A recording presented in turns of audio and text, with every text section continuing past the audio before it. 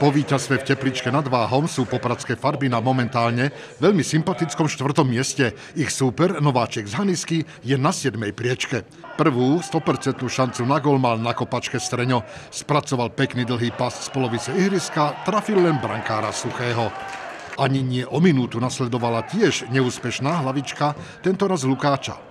Pri rýchlych akciách domácich nestihala Haniska čas sformovať obranný val, na čo v 15. minúte doplatila. Úvodný gol súboja vsietil Lukáč. Suchy musel byť stále v strehu, lebo pracovití potatranci hrali skuty a snažili sa byť stále hrozbou. Toto bol prvý vážnejší pokus Hanisky ohroziť Husárika. Súboj s Pekárom náš golman síce prehral, ale dobre to skončilo. Domáci postupne naplno ovládli stred pola. Vpredu dobre komunikovali, čo sa prejavilo v 31. minúte.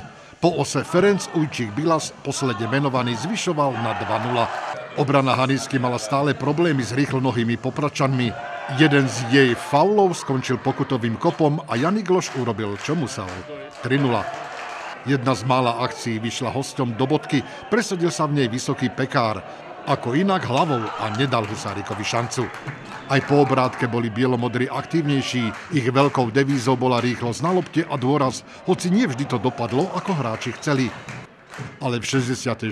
minúte to bol opäť úspech. Minúty nátlakovej hry ukončil roh, keď Ujčík nasmeroval loptu Lukáčovi a bolo 4-1. Až do záverečného hvizdu boli popračania pánmi na ihrisku a ich plný bodový zisk za predvedený solidný výkon bol plne zaslúžený. A navyše začalo sa týmu dariť aj strelecky. Poprad Haniska 4-1. Trošku sa nám podarilo zdramatizovať zápas tým e, gólom do šatne, ale mm, ten, ten gól na 4-1 si myslím, že rozhodol úplne. Chlapcom musím poďakovať za, za 90 minút, si myslím, tvrdé roboty, kedy pracovali, chceli hrať futbal a a myslím si, že, že sme potešili popradského diváka štyrmi peknými gólmi a boli tam ešte aj ďalšie akcie, takže myslím si, že keď budeme ďalej tak pracovať, že, že tí chlapci pôjdu ešte hore.